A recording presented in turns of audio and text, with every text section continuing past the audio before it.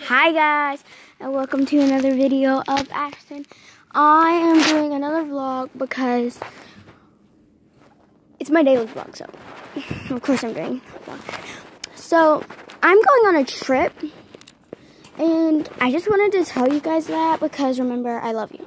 And yeah, my brother is on his bunk bed bouncing around. We might be able to vlog on the trip, but we don't know yet. We don't know because the camera doesn't get good service, you know, there on in our car. So when we get there, we're definitely gonna vlog because we can't miss all that you guys. So yeah, and I literally just wanted to tell you I love you, and I'm going on a trip. So I was just something fun. we're going to Canyon Lake, and we're gonna sleep in like cabins.